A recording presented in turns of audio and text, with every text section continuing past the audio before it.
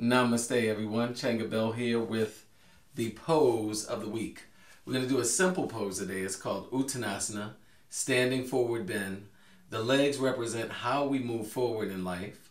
So, Uttanasana, a lot of times our psychological or emotional barriers may show up in tight hamstrings, hence the term hamstrung. Uh, other times it's just because of overuse of muscles.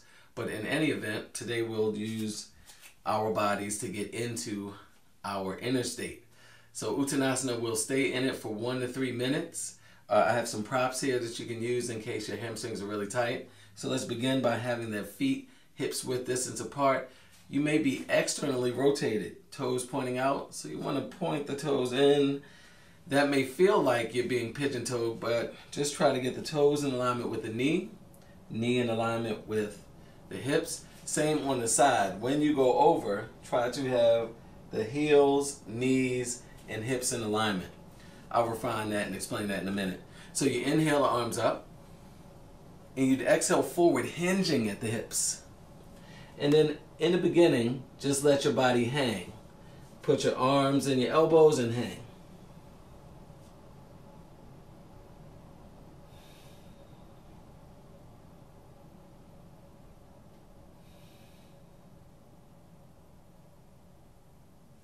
So the head is hanging heavy.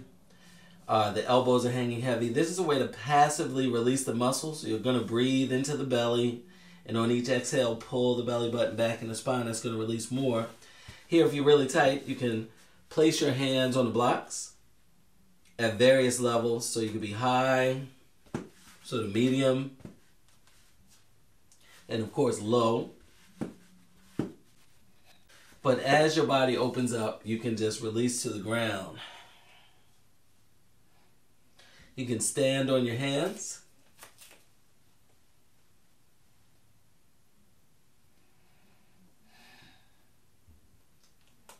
But remember to keep the ankles, knees, and hips in alignment. Don't lean back. Have it all straight. You can add a slight bend in the knees if you need to. But you want to be able to hold this pose and relax for several minutes at a time.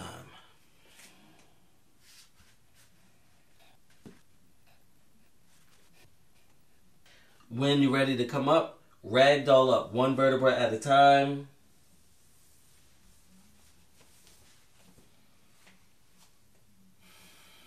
That will keep you from getting lightheaded and dizzy. That is your namaste for today. Uttanasana.